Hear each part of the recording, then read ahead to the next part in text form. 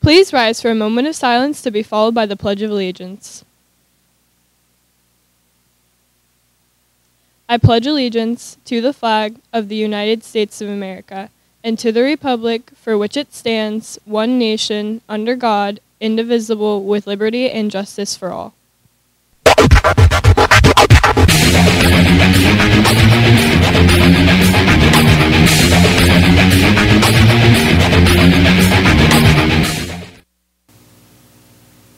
Morning, BHS. I'm Emily. And I'm Addie, and welcome to Bash TV. Today is Thursday, January 12th, making today the official 81st day of school and day one of the cycle.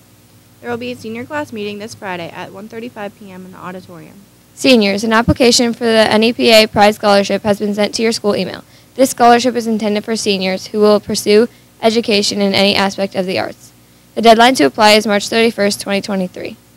There will be a student council meeting on Wednesday, January 18th at 7.30 a.m. in the rehearsal room. All members must attend. That's it for main desk. Now let's send it over to FYI.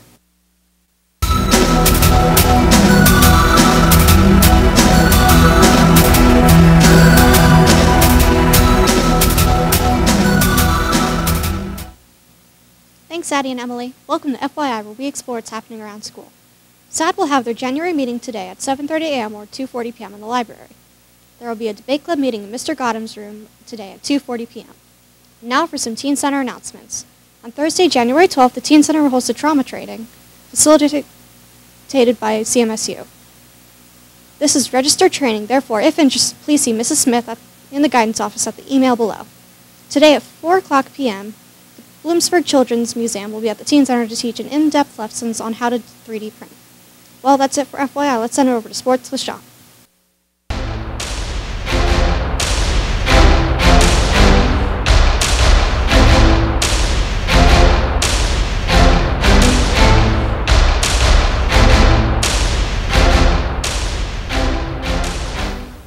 Thanks, Percy. I'm Sean, and welcome to sports.